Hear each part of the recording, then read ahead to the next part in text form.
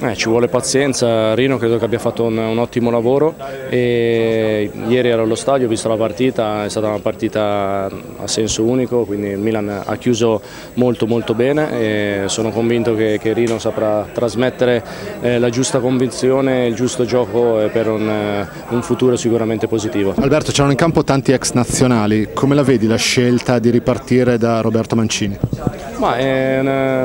un nuovo allenatore, quindi avrà grandissimo entusiasmo, mi credo che possa portare una ventata di, di positività e lo spero per l'Italia, per la nazionale, speriamo veramente. Sono, sono, effetti sicuramente un po' di tristezza, però arriva questo momento per tutti, quindi eh, Gigi ha fatto la storia della Juventus, la storia della nazionale, è un giocatore, un uomo straordinario, quindi eh, adesso vedremo cosa deciderà, eh, però grandissimo.